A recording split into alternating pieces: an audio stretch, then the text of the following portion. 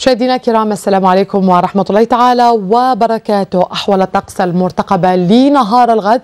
إذا ستتوالى سلسلة الاضطرابات الجوية على المناطق الشمالية للوطن وخاصة بالمناطق الغربية.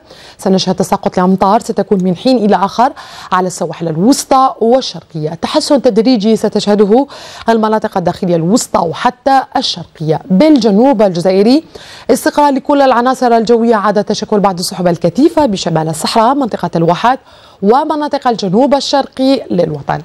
الدرجة الصفر ستسجل خلال هذه الليلة ولصبيحة الغد بالتحديد بالجلفة والبية درجتان بتيرت أربع درجات بباتنا خمس درجات بقسنطينة والصيف لن تتعدى 11 درجة بالسواحل السبع درجات بغرداية 8 درجات بالواد بسكرات 9 درجات بإيزي أدرار 11 درجة بإن صالح لتقارب ال 20 درجة بأقصى الجنوب الجزائري.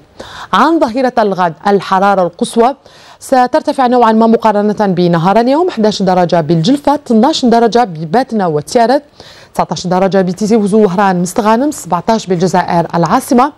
20 درجة فيما يخص عنابة وسكيكدا. تلمسان لن تتعدى أيضا 19 درجة بشمال الصحراء 23 بأضرار إن صالح لتقارب 34 درجة فيما يخص أقصى الجنوب الجزائري. للملاحة والصيد البحري نهار الغد البحر سيبقى مضطرب إلى هائج وخاصة على السواحل الوسطى.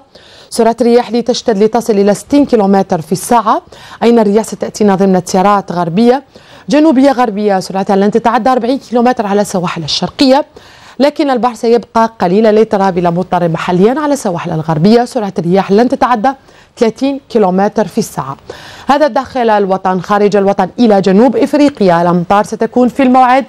ببانجي وكينشاسا أبيجان درجات الحرارة القصوى لتقارب 35 درجة بأبوجا 31 درجة ببانجي 32 درجة بكينشاسا. أديس أبيبا تقارب 22 درجة.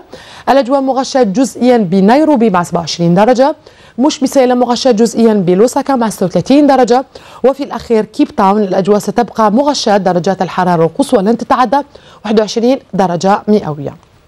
غدا بحول الله شروق شمس لخاص الجزائر. العاصمة وضوحها سيكون في حدود الساعة السابعة صباحا وعشرين دقيقة. عناوين مصلحة أرصاد الجوية تبقى دائما في الخدمة. أشكركم على المتابعة. في أمان الله.